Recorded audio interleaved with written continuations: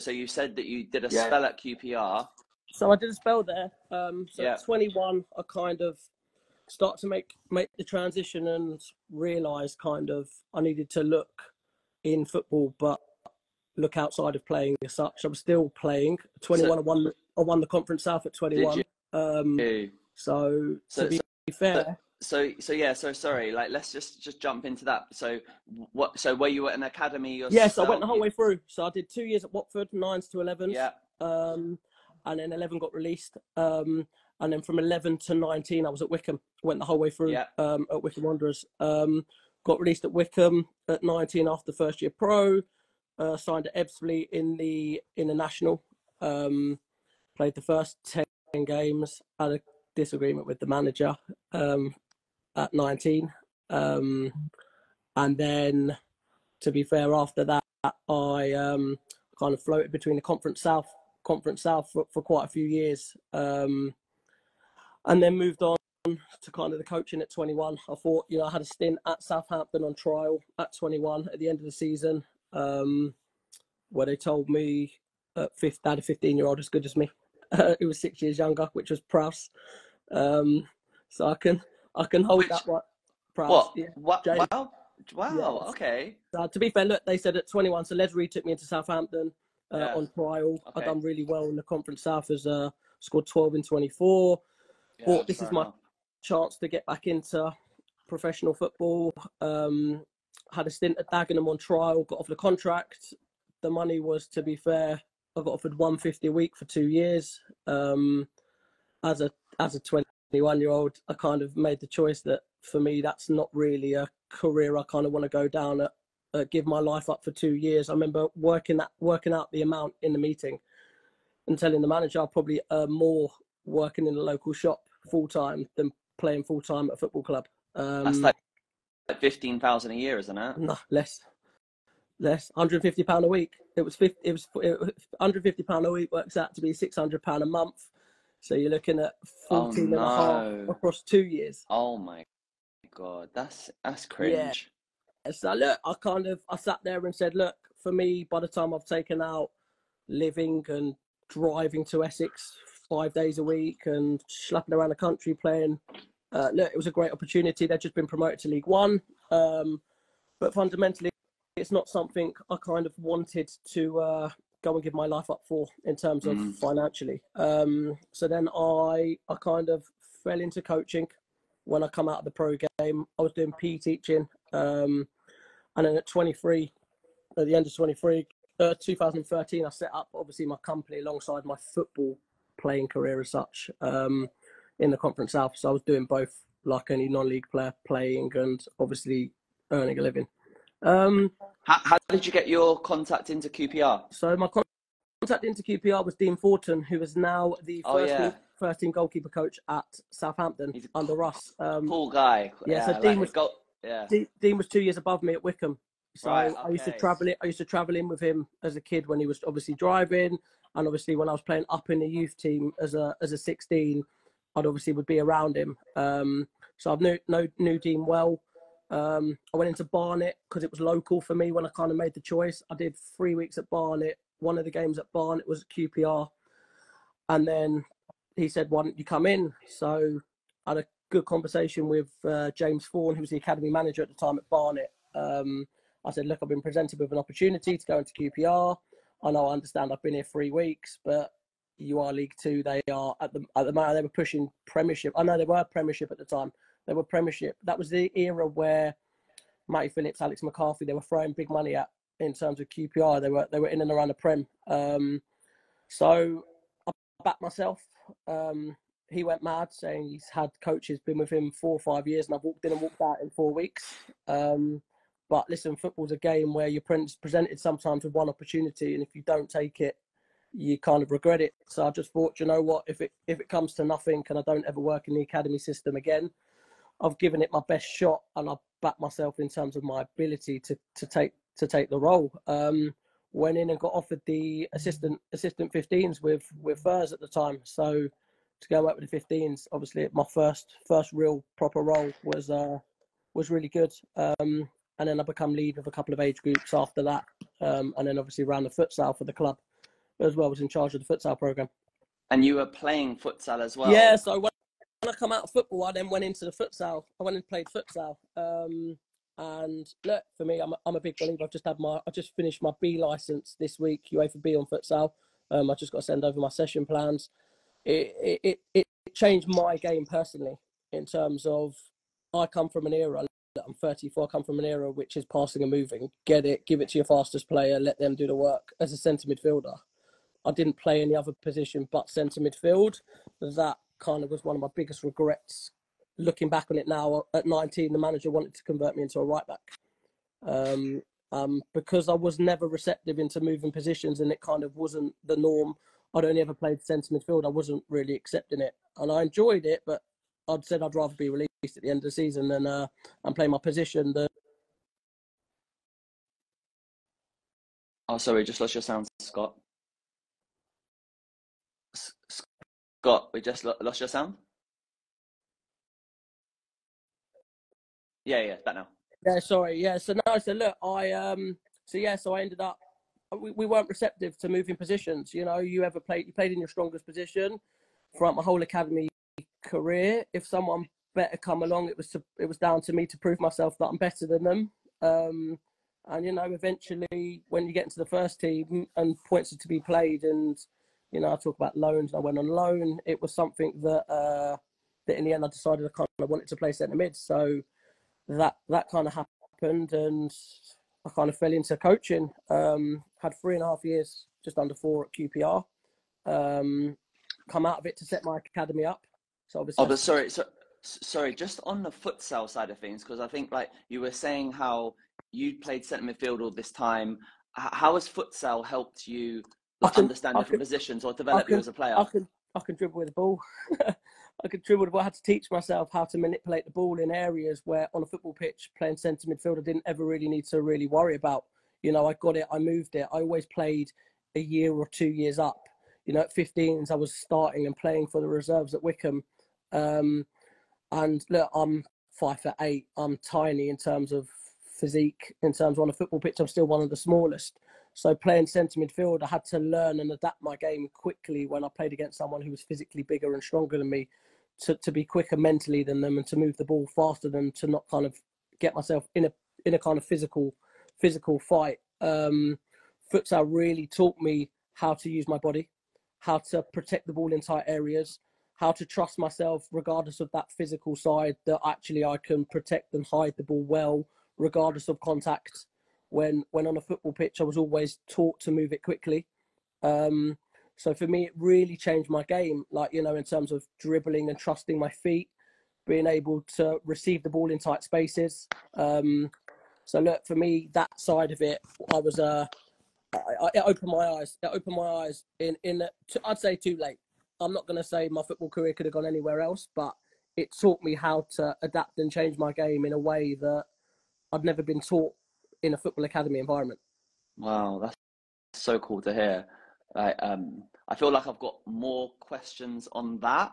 Um, and I think we're probably getting into like quite a futsal yeah. conversation, yeah. which probably deserves more extended time to focus on that. But um, yeah, that's really really interesting to hear. And and then and then just before sort of like moving on into the topic, um, yeah, I mean, could you talk a little bit about setting up your company and maybe like a bit of the ethos of your company? Yeah, so about. I set up SFC ten years ago, so it'll be ten years now. This well, just March just gone. Um, the, the idea was to bridge the gap between between academy and and grassroots, as as was the plan. Um, I run a football camp four weeks after opening because I've, I've been working in a number of schools, so I knew a lot of children and I knew a lot of children in the kind of academy game. So the idea of the camp was to kind of bridge the gap between a fun camp and a, a learning camp. Um, I brought in a few of the boys who worked with me at QPR to assist, and I remember one of the one of the coaches didn't really get on that well with, with a number of kids because he was kind of trying to teach them how to play and, and was teaching them the kind of the tactical side and things like that. I remember speaking to the a parent at the end of it, and and she kind of made a valid point, which I learned four weeks into opening the company. She was like, you know, I don't care. My son's not here to become a footballer. Like, I don't want to do it for, for to getting him into an academy. I just wanted him to ensure that he kind of enjoyed his day and he didn't enjoy his day. And I kind of asked why. She said, "Well, I think the coach was quite strict." I said, "Well, what coach did he like?" And she kind of mentioned one of the younger coaches. And I was like, "Look, you're comparing in school term a, a lecturer, a uni lecturer, to a nursery teacher. They both have got roles and they both help, but." One wants to really diverge into detail, and one's there to kind of nurture and support and, and enjoy. And and she said, "Yeah, it doesn't bother me what what qualifications they have. As long as long as my kid has fun, then then that's all I care about." And that kind of changed my whole ethos for the for the club. So we're we're a club that accept anyone. I've got a number of children who just want to play fun with their friends. Uh, we've got 27 grassroots teams um, and growing. Uh, we have sessions starting from two up. So we kind of just I've got kids who who honestly just come for fun and bless them, they've got no technical ability, but they try hard, enjoy themselves, and and just want to have a run around for an hour. And I've got the academy kid in different sessions who who wants to aspire to to kind of become an academy. I know, obviously, to, uh, looking at the uh, gem page, I was talking to Zav's dad. I know you guys work with Zav as well. Um, um, it's someone who's come in about a year ago, a year and a half ago to work with me. Um, so I knew there was a crossover in terms of players for that. But look, I've got the kid who's breaking into the first team and the two year old who who just wants to have fun and play football. So my SFC is is is a club that nurtures and, and supports whatever whatever football journey and whatever learning journey they kind of want to go to.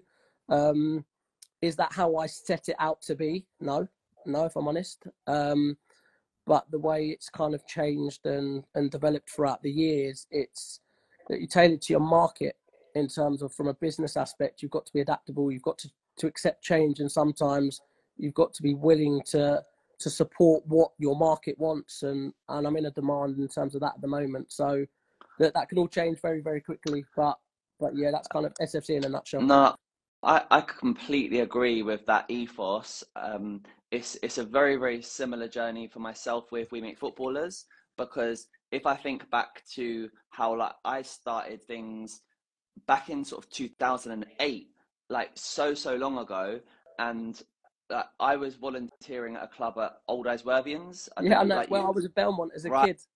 Right. Okay. Okay. Um. So. So yeah. So.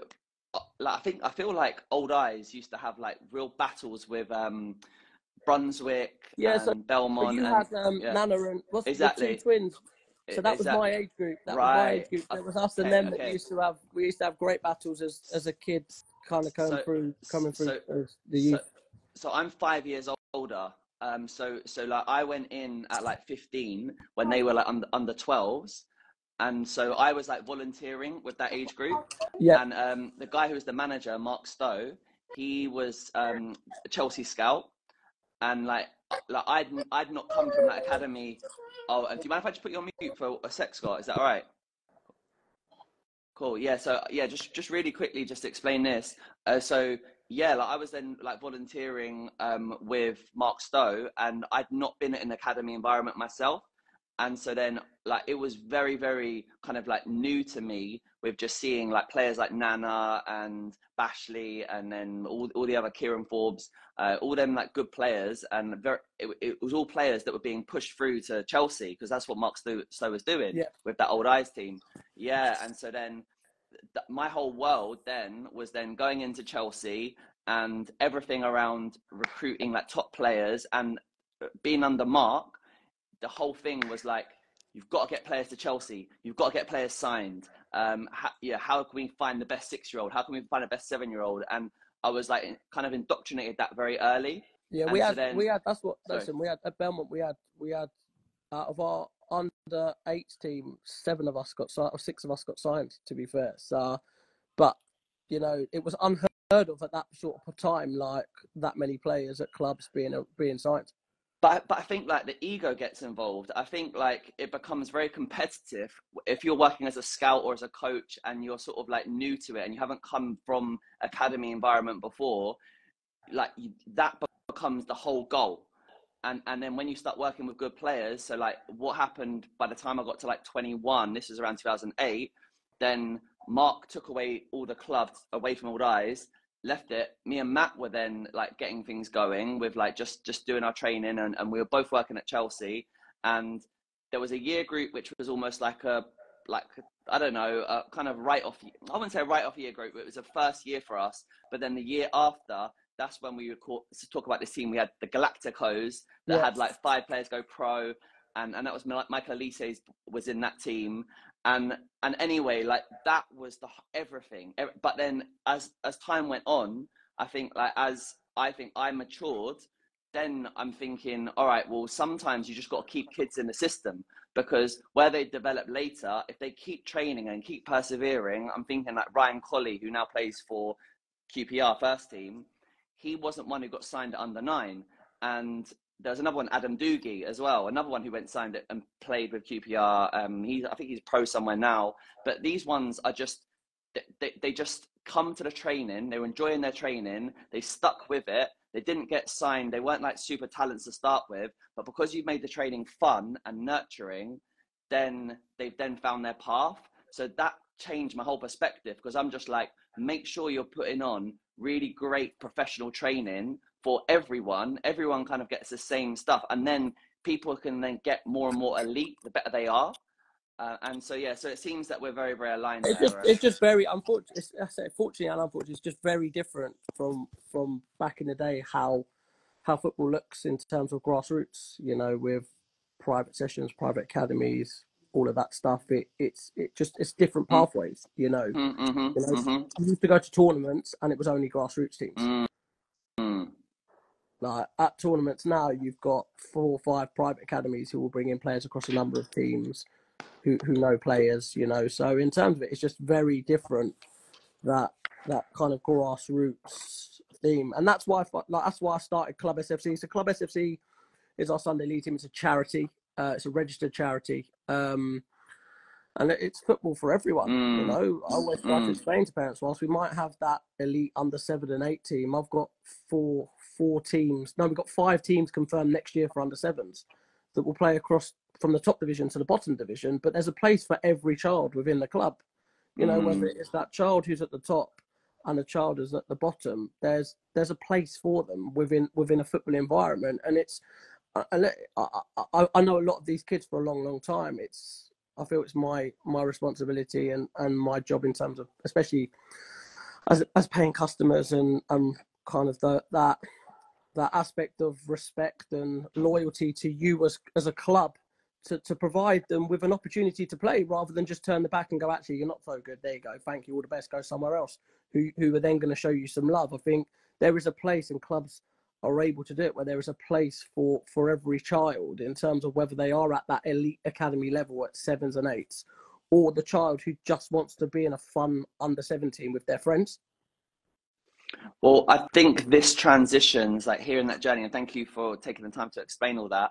And I think this then helps us transition into our topic for this evening, which is around the idea of multi sports. Yeah. And and then and the need for multi sports at young ages to help with then ending up specializing. So you did a video a few weeks ago. Yeah. Um that, that you, you shared with me and um would you mind because maybe some of the audience haven't seen it would you mind like just explaining re-explaining what you were saying in that yeah. video so we speak about so so the question I got asked was how can parents support a learning journey? How can parents support their child? Um, which kind of went into just discussing how obviously we see some children, I said, do nine day weeks and seven day weeks where they'll do three sessions across a, a, Saturday, go and play for two teams on a Sunday, play football across however many nights a week. Um, I spoke about briefly in terms of not going to to the coach on Instagram who who is perceived to be to be the coach everyone goes to because what works for one doesn't always work for all. So it's finding that right coach for that for your child rather than kind of following trend and just because next door goes to me that doesn't mean it works for your son or, or it, um, my, my style might not work or or what you're looking for there might be a better person for that you know so we spoke about that and then i went on to speak about obviously letting kids be kids and play different sports and and and go go and try different things and and things like that. So yeah look, it comes from a teaching background. I've, I've taught in schools for seven years. I kind of stepped away from it about five years ago just because of the amount of admin and stuff kind of through mm-hmm. company that, that ended up taking up. So look, I'm I'm a big believer in terms of in the foundation foundation age groups, especially in the pre academy, to be able to go and play across a number of sports. Listen, not every day of the week, but you might dip in one or two different sports. And again, we'll touch base on it afterwards, and I'm sure it's going to be one of the questions. I'm going to say the same about football. You could play football five days a week with a coach that doesn't offer you necessarily something that something of value but you're playing football five days a week. And it's the same thing with with any other sports. Like I've just signed my daughter up for gymnastics. You know, I'm on the waiting list. She's down to go to Harrow Gymnastics Club. Why? Because I know I went there as a kid. I did gymnastics up until the age of seven. And one of my friends went through the gymnastics program there and represented Great Britain at the World Championships. It's one of the one of the so-called best in London. Now, as a parent, I want to provide my daughter with that education. Listen, I'm not going to say she's going to become a world class gymnastics player, but I'm giving her that education where and the pathway that I know that that's what they're good at. That's what they're they they are known to do. They're known to produce produce gymnasts. Now, for me, I've got a local gymnastics club, and this is where I've kind of had a debate with my wife. And she goes, "Why don't we just sign her up to local gymnastics club around the corner?" And I said, "But why? Why would we do that? I'd rather give her the best quality and and if she chooses to take that pathway, that's down to her, rather than just put her in a session for the sake of putting in a session and ticking a box. So whilst whilst multi sports is really important, and I am a believer that there's a lot of transferable skills across a number of sports, and and again I'll touch into my mum was a, a county badminton player, a squash player.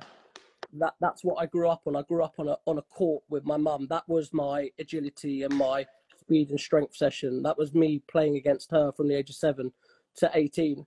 Um, I also did athletics. I swam. I did jujitsu. Mm. Now, do I think that it's helped me long term? Yeah, I think there's a lot of transferable skills that have. But I think as you then get older and you start to specialize and it starts to become a niche and you start to look to go, actually, this is what I'm, what I'm really, really good at. I think then that's a time in the older age group to really kind of hound in the aspects of certain things like football and then separate it based on as you're getting older through that development stage. Mm. Matthew, um, w- w- hear, hearing that with what Scott said, um, do you have like sh- very different views, or what? What's your kind of like feeling on it? No, I mean, I going back five years, I would have been the biggest advocate of multi sports. I played a lot of rugby when I was younger, and and yeah, I would have. And I think going back a few years, you could look at you could look at a lot of the legitimate research, and you could say a lot of elite athletes played multi-sport when they were younger. But I think football has turned itself into a specialist sport now, um, because I mean, a, a, friend of mine was at an under six tournament today. He said it was frightening. He said just the level of under sixes now are phenomenal. So if they're that good now at five year, five and six years old, they have to have been really only doing football for the last couple of years. Um, and then to stay that good now, you know, if, if they're once a week doing gymnastics, swimming, rugby, whatever it is, where the other ones on their team are just doing football, when it comes to getting signed at under eights, the players that are just doing football are getting more football training, and at that age, that's gonna, you know, touches of the ball probably what's gonna count. So it, it's, I don't know where I sit now. I'm very much on the fence, and because I, I can't.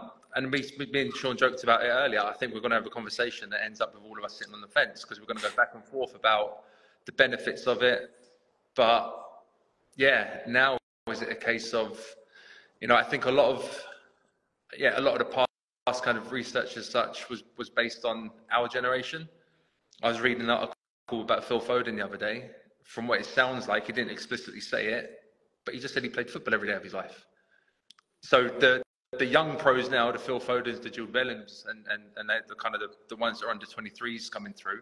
Um, it would be really interesting to know their journey because I'm going to hazard a guess and say that new generation of talent coming through probably isn't as multi-sport as what our generation was.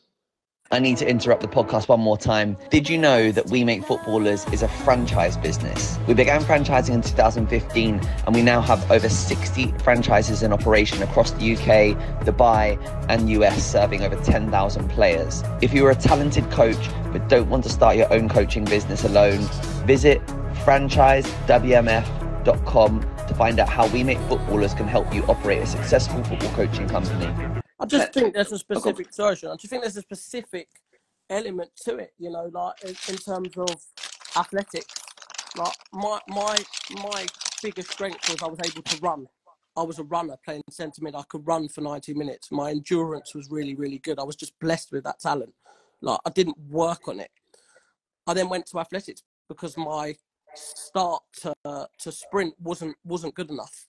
You know, I had to go and work at that to get better at that that stop to start kind of couple of yards in terms of what's needed in football. And I remember going to athletics. I hated it. Like I'm honest, I hated it. I used to have like a 40 meter head start, and I've got boys 40 meters behind me beating me by 20 meters. But it helped. It helped my football career because I know that if I wouldn't have got to that, to that, to that, got it to a good enough level, I would have been released. I would have, I would have been let go based on my, my movement wasn't good enough. Yeah, the only thing with what you're describing there, Scott, is you that sounds like training that is done to help you with your football specifically. Yeah. Like it's it's not like you're saying I'm No, of course, but then I'm, I'm going to go I'm going to go into the badminton and squash side. So from the age of 7 to 18 I played against my mum on the court, especially badminton. I didn't beat her till I was 16 because I didn't beat her once till I was 16. But Can, that but but sorry, sorry. Can I just interrupt? Do you think that you became the very best footballer that you could possibly have been? I believe in terms of it. I believe my generation we didn't have we didn't have what's available now. So in terms of my parents had no football knowledge at all. They got me to a level where where I was able to sign pro. That I think don't get me wrong, I'm not going to say I should have had a better career because I'm not here to sit here and talk about that. But I believe I got to my level. I do believe right. that. I do believe I got to my level. If my, my my regret was not playing right back, the way the game looks at a right back now compared to how tall people are in centre mid, I, I would have I would have had a longer career playing right back because I can run, I can pass, I can attack, I can tackle. Yeah. Than, than I would do I would do playing centre mid that, that I used to get moved out when there was a six foot four player playing up against me. So I, I believe that, that. Cool. So I just suppose that I'm just while you're just talking about badminton, uh, like I'm I'm going back to say, would any of this program would you have changed it? Would you have kept the badminton in in part of your development journey? Yeah, listen, I, like again, I've got four year old. I don't I don't plan. I, I hope. Listen, it's down to him. I don't plan to to do the professional game with him. If that's what he chooses, like it's not me pushing it. If that's what he chooses to do, then I will support him and I will back him till, for what till till he gets to where he wants to get to. But it's not me being the, the driving aspect from it. I'd I've got him on his scooter every day.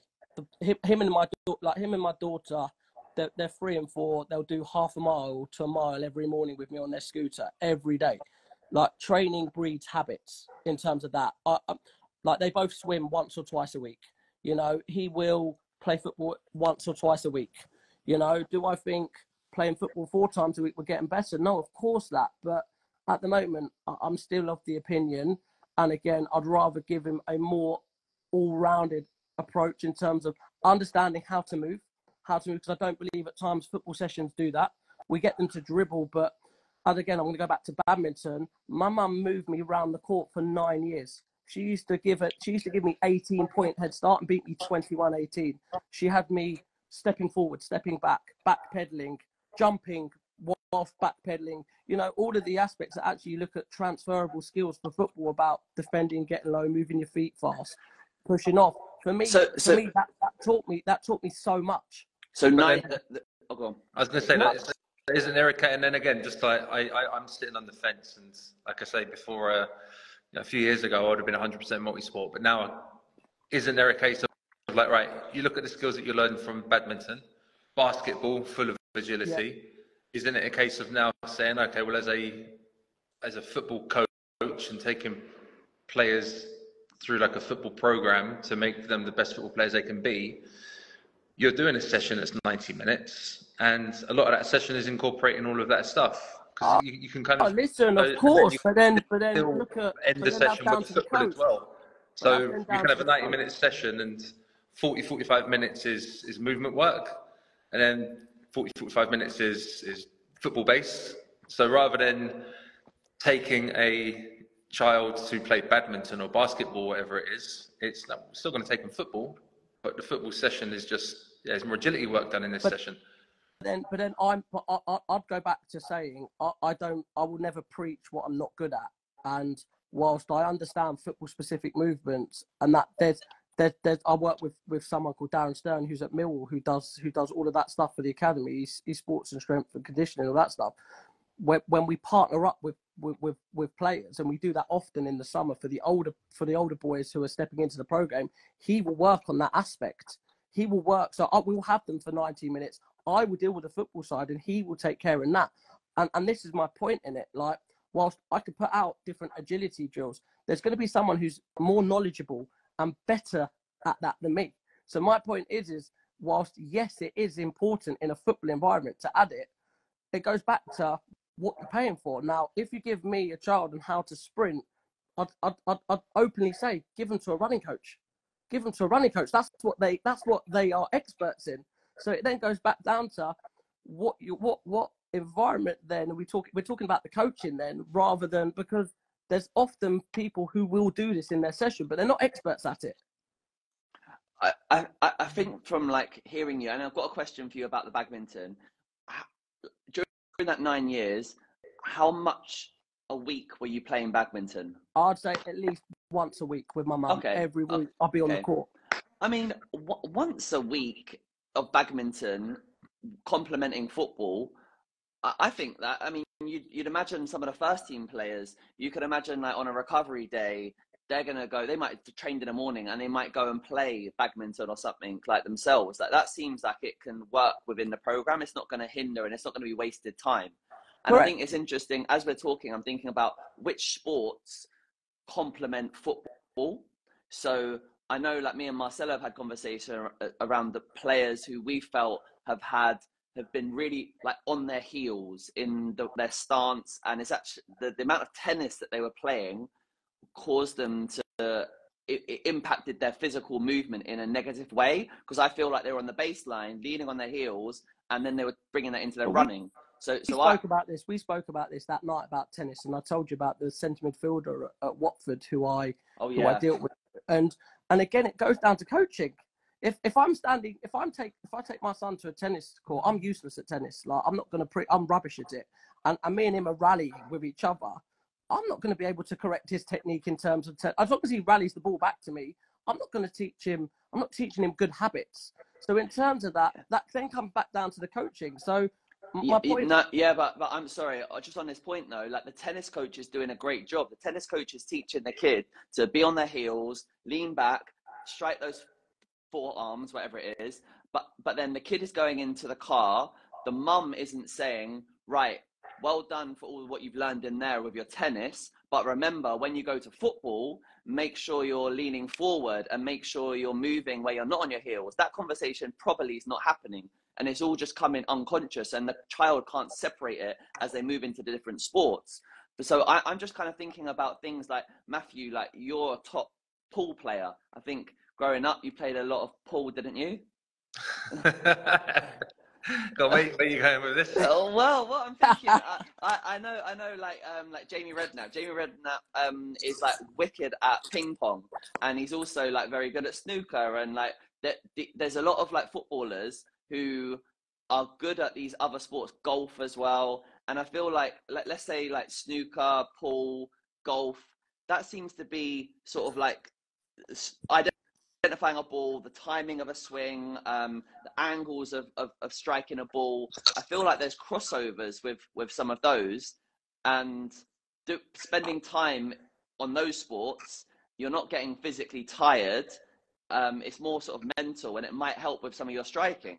I think the like maybe a, a, the thing to really sort of uh, um, define is what is multi-sport because yeah playing a sport whether it's badminton or whether it's different sports every week but doing a different sport once a week maybe i don't know if that that would qualify as like a multi-sport but it's when um, you're doing a sport maybe two or three times a week, or you're doing two sports two or three times a week. So Scott, if you to turn around and say, yeah, no, I was competitive in badminton and I was training three times a week, I was playing football three times a week, like then yeah, I had a range of badminton. different sports. Sorry, That, that, that I had a range of different sports that accompanied my football. because I I can look back now and go, I played so much rugby, so much rugby when I was younger.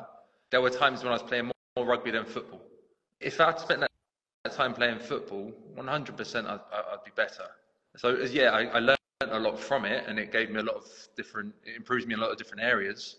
But Because because I'm thinking, um, Scott, as you were talking and you were saying about your mum putting you into badminton, and before you'd said it was only once a week, I was thinking, oh, she was getting you playing like three times a week because it was maybe like her passion and it was a, a way for her to spend time with you, and it worked in the routine because she was playing and she would bring you.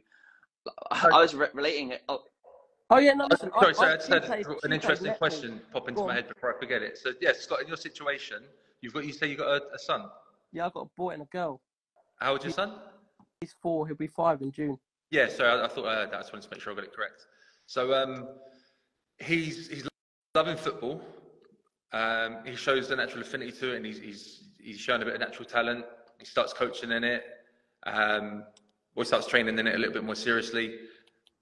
Do at any point you get him to do other sports that maybe he doesn't particularly enjoy, um, to try and help his his physical capacity and just to try and help with his football, or if he's just loving football and you as a coach can kind of recognize how to make sure he's still getting doses of what he needs in, are you gonna keep it football or are you still gonna try and No, I'd still, I'd still, I'd still honestly, I'd keep it the other way. You know, like so next. uh So I have a child who's who's at West Ham. I won't say ages. His his his dad was a triathlete. His mum played seven South Africa rugby. His uncle went to the Olympics as well. So it's a sporting, it's a proper sporting family. They have him swimming three times a week. They have him doing his bike. He's also at an academy. He's a signed academy boy. Now, his in, level of endurance compared to others is obviously a lot higher because based on how many times a week he's training. But they're giving that for, for them, football's not not the be all and end all. He's just happened to be really blessed at it, and he's had to actually work really hard technically at getting better because of how natural he is at all his other sports. Now, for me as as a parent, I'd look at look at adding in different things to to help to help his if that's what he wants to go and do to help help his football. You know that whether it be athletics and, and we spoke about tennis, Sean, and I spoke about to, to to the boy who's academically clever as well, reading the line of the shot, making sure he's then as the ball comes across court, he's he's assessing the speed of it, what line of it, where his partner's standing. And I'm no tennis expert, and, and I explained it to him in that way. And I said, as a centre midfielder, as the ball comes in, when you're on the when you're on the baseline of a tennis court, you already know where you're hitting it. You're one step ahead. You're assessing his foot pattern as he where he's stepping and where to expose him on what part of the court to be able to potentially play your shot after that.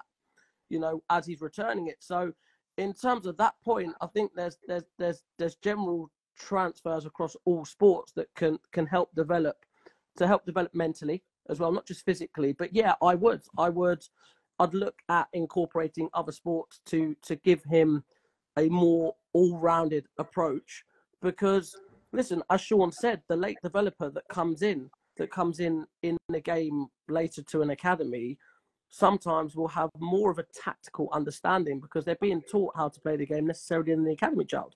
So in terms of my son's development i would look at giving him his football if that's what he wants to go and do three times a week or whatever it is but then look to add in other other aspects to help benefit him in in that environment if Mm. if he was to go if he was to go and do that So is there a minimum you make sure he plays football?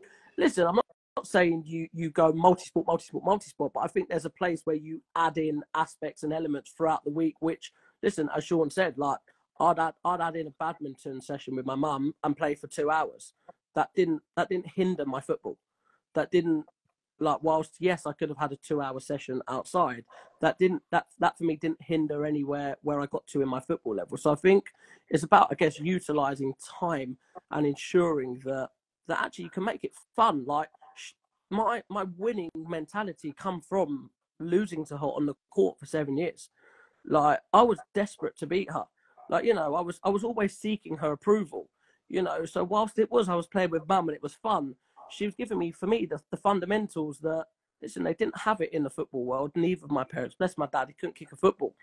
Couldn't kick a football. Like, the only football he did was watch West Ham. So for me, that was my my understanding in terms of mental. Like keep going, that resilience of keeping going. Like I couldn't tell you how many times I lost every week. Like every week I'd lose. It took me, as I said, till I was 16 to beat her. Now that mental resilience to get back on the court, go again. She used to go, all right, Scott, I'll give you 18 nil head start. And in my head, I honestly believed I could beat her, thinking I only need three points. And then she wiped the floor with me. And then she go, game again. And I go, yeah, all right, go on then. She go, 18 or 19. You know, so it was, listen, it was, it was me playing with mum. And, but it was also a massive learn. Like for me, that she got to county, county at that level. And she understood the game. And look, uh, her personally, it gave me, gave me, I believe, an, a more a better chance in football. If I wouldn't have done that, I honestly don't believe I would have gone as far as I did um, through natural talent. I did the bare minimum as a player, you know, but that outside of the stuff that, that I pushed and, and they pushed for me to do, I do believe it gave me that little edge in the era that we come from. Just the... So, so, so, oh, sorry. What's, what's your question? Yeah. Sorry. No, no, I was, I was going. Yeah, so I just wanted to like bring it back to what I was kind of just talking about before with about like the experience that I had with like my mum and and like where she, like to, to, in comparison to your mum putting you into badminton like my mum's passion like she she done like she was a drama teacher yeah. and she was into like act, acting so then from the age of like eight i think i was like taken to like her drama club and so I was doing like acting like two times a week, and then later on, and then I was doing tennis once a week, um, and then my my my parents brought me to this like local club um, where I think I made might have played football like twice a week there, but I was all playing just park football. So as I got to a teenager, my decision making was always like so bad. Um, it was only till like I got 16 and started to play for like semi-pro teams where I felt like I started to get coached properly. But I look back at it and I was so pissed off at my mum for taking me to the drama club. Yeah, and I, am wasting money on the tennis lessons. And I was just, I say to her, like, I, I say it in a bantery way, but I'm like, why did you do that? Like, I could have, I could have been a good footballer, and and yeah, wasted time in the drama. And maybe, maybe like now, um, sometimes if I'm, if if like we're doing this podcasting thing, maybe the drama stuff like might have helped me with that. Um, and and maybe it has helped me in the long term. But yeah, for me, um, if if if I'm going in on a sport, like my, my mindset is going to be go all in on that sport. And if I'm doing multi sports, I'm doing it with the mindset that all right, we're going to go boxing lesson, but we're going to go boxing because it's going to help you be more aggressive. Correct, because, but that was but that was sorry. always my but that was always that that was always my thing. Those my, all of my other things that I did uh, accompanied my football. It helped me in football. You know, it that those it transferred into my game you know, in terms of and that's and that's kind of where I, that's what more for the younger ages, you know. Just it doesn't have to be. Um, listen, I'm not talking changing your whole program to be a multi-sports program, but I do believe that there is a space to be able to go and do different sports within your program that will help help push push your program on the side as well and give you something slightly different. Can I can I play? You know that video that's like with the really extreme guy um, I, am just going to play this. Hopefully, we can get the sound and we can get the video of it. Oh, it's not got the sound. One second. Let's try again. By the way, Scott, I, I love your uh, your mum not letting you win. I'm all about that. Parents do not let your kids win. No, yeah, it, it, it, listen, I'm so competitive with them. To be fair, with my two, everything's yeah. a competition. Everything, whether it's walking up the stairs, they're, they're both chasing. So they stand at the top and saying, "I win." As an elite eight year old, a high performance 10 year old, or a professional 11 year old. It doesn't happen.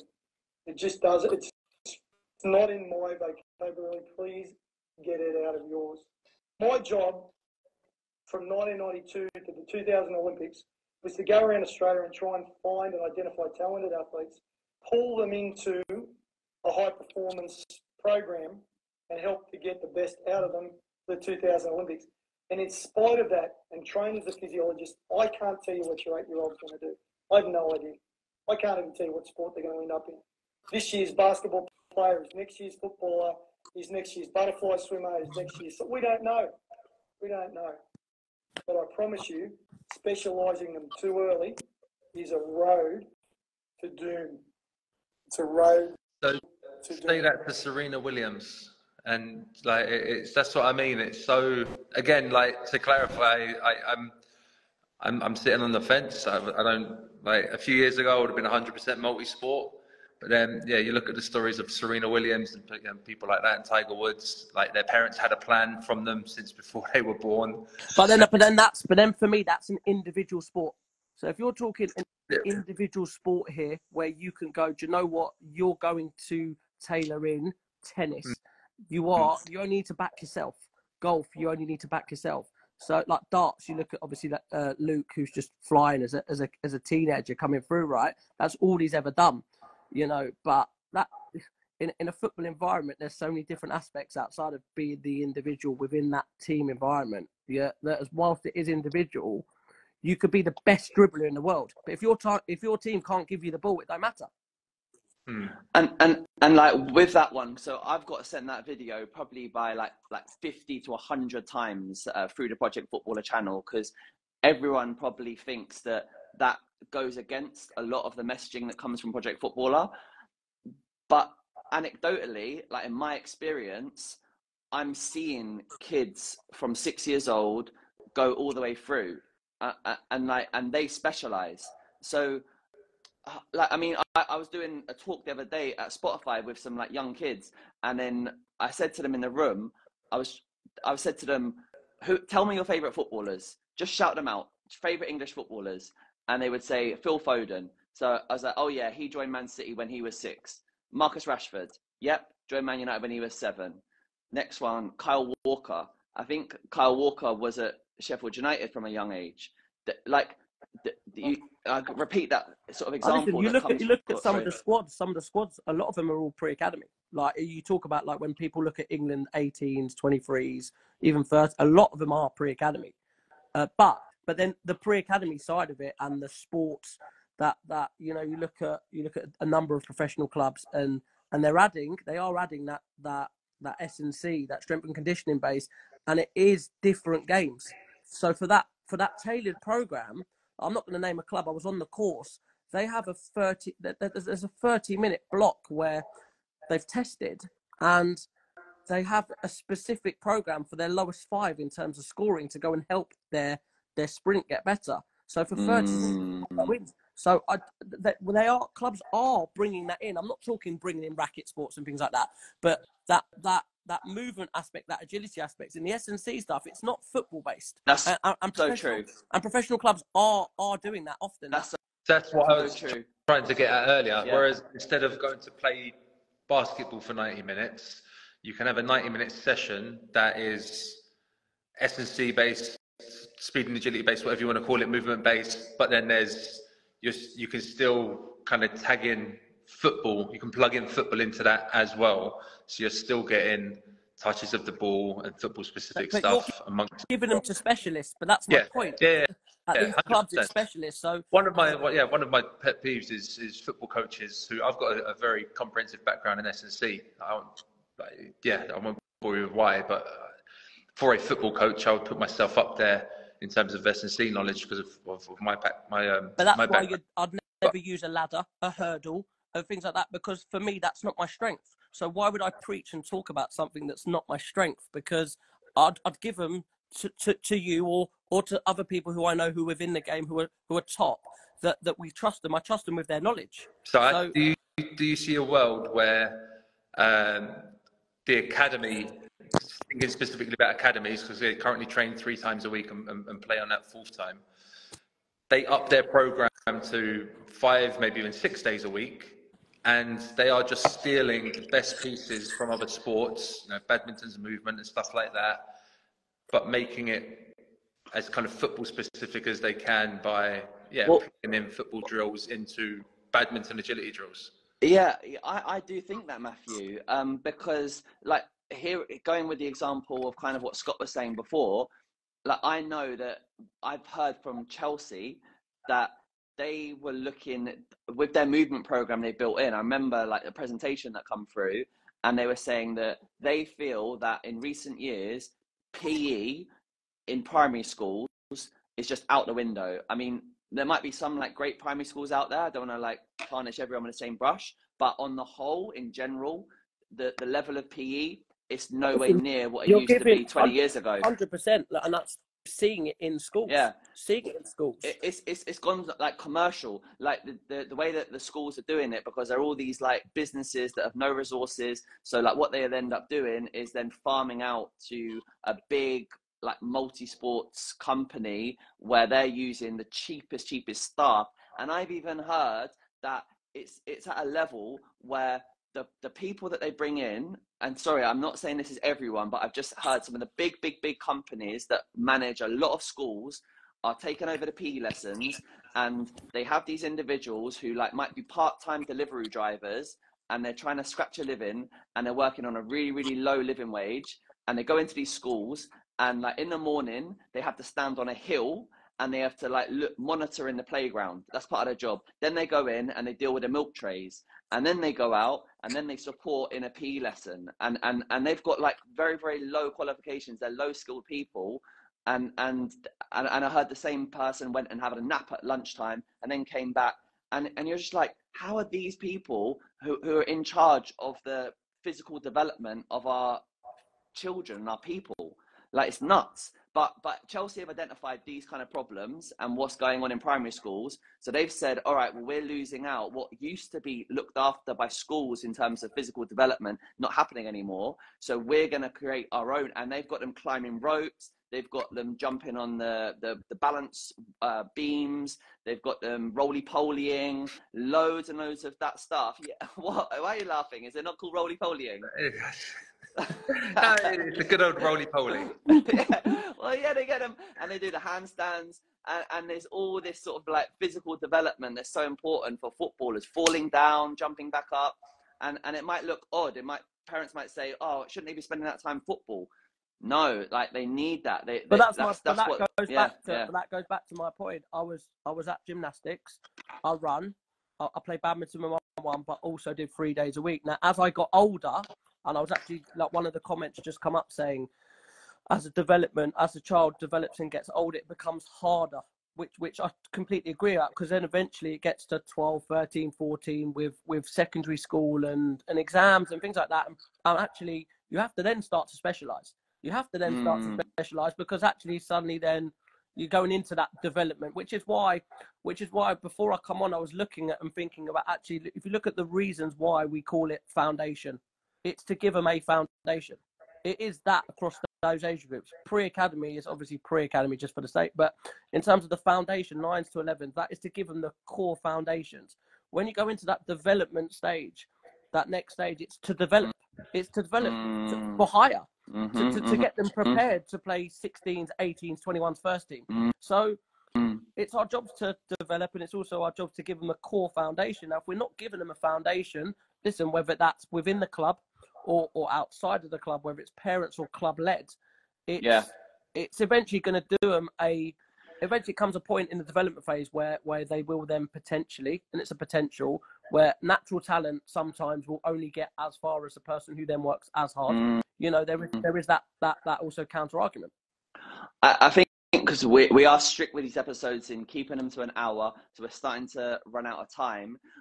So if I'm like kind of like concluding my thoughts from everything that I've heard uh, from from this conversation tonight, I, I'm kind of thinking for parents who've got young children, and if they want to be quite deliberate about saying that they want their children to be footballers, and people have the right to do that. Like I d- I don't like other parents shaming parents and saying, "Oh, it's wrong that they are trying to make their kid a footballer." Well, there's loads of like famous sports stars where their parents were deliberate about the direction for their kids. Well, that's their choice. And so anyway, so let's say that a parent has that wants to make that choice and wants to specialize in football from a young age. I think the lessons that they should pick up from this episode are that the specialization still can incorporate supplementary sports which will aid the child's football development if that is their chosen sport. And you could do the same thing with all the other sports. The other sports, you might say, oh, we'll go and let them play football. I think the other side of it might be where a parent is saying, look, I, I, I don't want my kid to be a footballer. We are not trying to chase that route. I, am actually going to steer them away from professional football. So then we, it's much more about the social side of things. And we're consciously going to go and spread the week program out and it's going to be a load of different sports through the week. And um, and, and that is what it is. And and maybe they'll find their way and maybe they'll find their way to professional football or whatever it is. But i feel that um yeah pe- people can be quite people should seek the information and and then try and like create a plan for, but listen every but child yeah. is different. Every child is gonna every child's program is gonna look differently which which goes back to my first video that that what works for one does not always work for the other one child might need more of something else mm-hmm, one mm-hmm. child might need more in football one child mm. might naturally be really good so you don't have to focus whilst you're improving their strength you might focus on something that they need to then get better at to in, to, to enhance their football. So every program and every parent, and that goes down to how the first question I got asked: How can a parent help help their child on their journey? Your child is different to every other child you see on social media. It's your child. You know your child.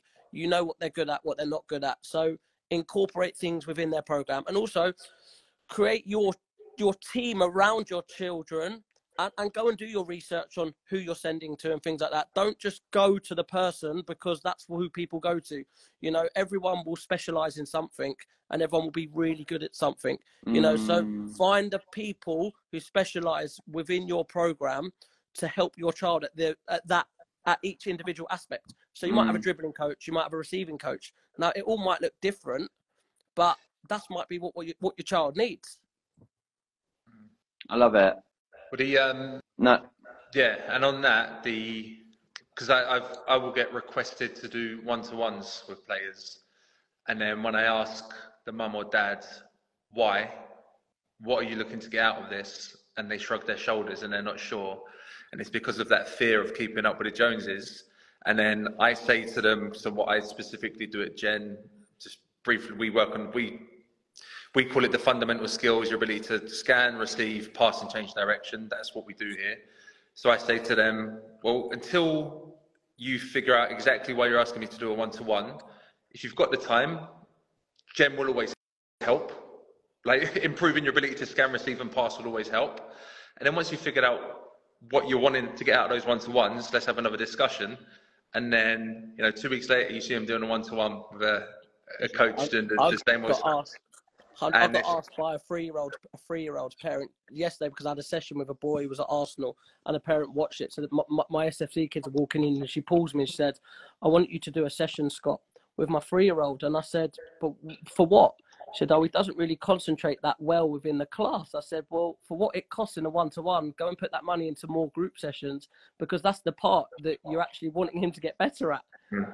So, but but listen, there's there's people. It's a completely different subject. There's people who will just take the session for the sake of the session, right? Mm. Yeah. And tell the parent what mm. they want to hear, but that's a completely different topic. And it's mm. yeah, I think it'll start to get onto a different topic, but it just feels like it's the the fear of not. You know, people are just we have to be signed by under nines. To be signed by under nines, we just have to be doing football. We have to make sure we're doing everything else that everyone else is doing, so we don't miss out. And you're exactly right. It's like doing a session with one one coach on a specific skill might be beneficial for that player, it doesn't mean that the parent of another child needs to go and do that same session with that same one-to-one coach. It's yeah, it's hard. It, it, it's, it's it's hard though because if you're like my mum back in the day, like not knowing what to do, like what has no football knowledge, you are kind of like being led a little bit off what you see on social media. So it is it is hard for the parents. But I do agree. Yeah. I do agree. But before everyone goes on holiday, before everyone goes on holiday and you go they to a new hotel, what, what do you do? Yeah, Correct. Yeah. Before you go and spend all that money, you go and do your research. Uh, there's enough people exactly. who go to a lot of people. It's so true. listen, I, I know before I send my children to anyone, I'm making a lot of phone calls if it's in individual where I'm going to then get them to work with my children so that I know mm. everything what they're good at. But that just comes down to comes down to the level of detail that you want, right? If you're just happy to just send because it looks good because that person goes to the next door, then then then sometimes that that coach isn't for uh, them. That's it. That's it. And I think you know that's what we found with this Project Footballer platform is that we, we, there, there probably isn't a lot of this sort of advice that's been accessible for people and that available. And so yeah if people do actually like really they want their kids to be footballers and they want to understand what goes on in academy football and so on then then yeah then like yeah keep doing your research. Like you know like keep following these podcasts keep following the the clips that we put out on instagram. And then and then you know other people like yourself and and yeah like the good people that you, you sort of start finding in the network just keep researching it. Yeah i completely agree scott. Well um no th- thank you so much for joining us tonight. Really really appreciate listening to you. no it's been so helpful and the definitive answer to parents that ask should we do sort of multi-sports? is it depends. Ah. is, is that what we're going with? It depends. Um, uh, I'm going with I'm going with each child will have their own journey, and uh, each child, each child, and and there is a place to add it in, but there's also a place where where you need to obviously go and work with football as well. But there there, there are times and available if, if, available time. But if if if in one minute I could try and uh, for for a six year old, if I had a six year old kid that I was trying to develop, and yeah, I agree though because it's so hard to say. If you if if the kid was like not aggressive enough, then I'm saying, all right, we're going boxing and karate like three times a week until you you start getting more competitive, and and then and then if they're too aggressive, then maybe they're going to go to a like a yoga club because they need to calm the hell down. And I don't know. So so yeah. So you're right. It does depend. But um yeah, I'm sure like yeah the other clubs and things can help with that football. All right. Well, um, Scott, uh, would you would you would you come back and would you be with us again? Are you uh, up for it? Always. Yeah. Nice. Always. Nice WhatsApp group he's going to add you to. Oh, perfect. cool. Uh, all right. Nice one. Cheers. See you guys. See you later. Thank you. Bye.